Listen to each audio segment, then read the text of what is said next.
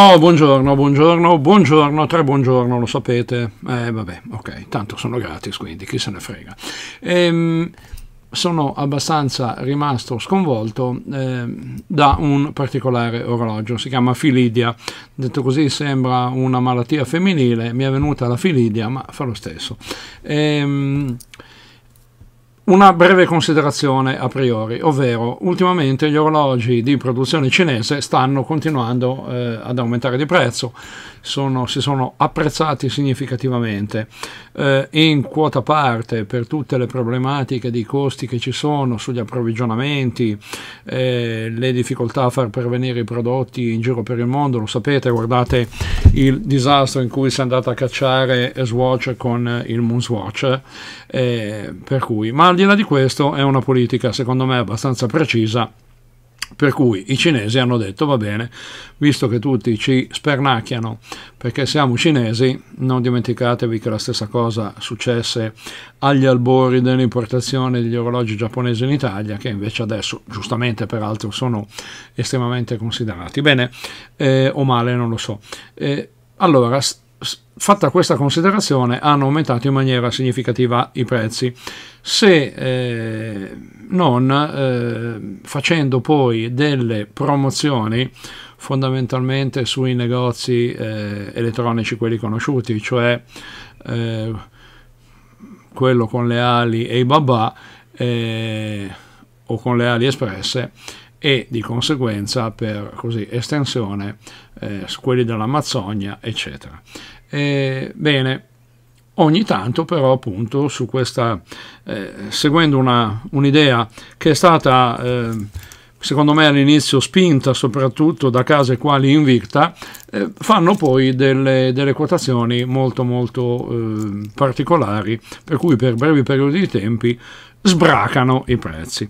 Secondo me, magari eh, voi avete notizia di qualcuno che l'ha fatto prima, ma io ricordo come eh, così precursore di questa politica sono i signori appunto dell'Invicta, sono cinesi anche loro eh, come produzione, non facciamola tanto lunga, eh, che di tanto in tanto patapam sparacchia lì dei prezzacci su degli orologi eh, anche di buoni contenuti. Nella fattispecie ho qui eh, questo simpaticissimo Invicta eh, Chrono Diver, eh, chiedo scusa, eh, Invicta Diver eh, in titanio, pesa veramente niente, che adesso è fuori a 125 euro sull'Amazzonia se non ricordo male. Comunque adesso vi metto il, um, la pagina e che in certi periodi è stato anche più basso. Eh, che, che dire, tra l'altro non si vede chiaramente tanto il meccanismo, ma un orologio di, di, buona, di buona, fattura secondo me e con un a questo punto rapporto qualità-prezzo veramente significativo.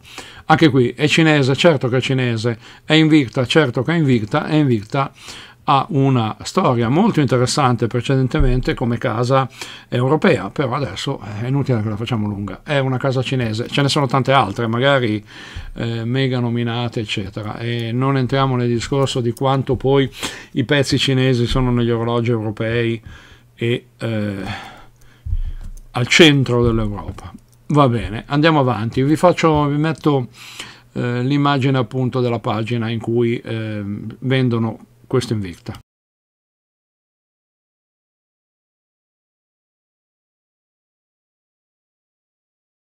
Bene, scorazzando, occhio a non sbagliare termine, scorazzando, ok? Eh, che non è spagnolo, eh, vabbè. E, ehm, scorazzando per eh, appunto eh, questo noto sito cinese molto espresso che ti mette le ali, eh, trovo eh, un orologio, eh, tra l'altro di una marca che peraltro è già stata, si è già vista appunto eh, sui più importanti siti appunto quali Amazzonia e Filidia, eh, come si diceva.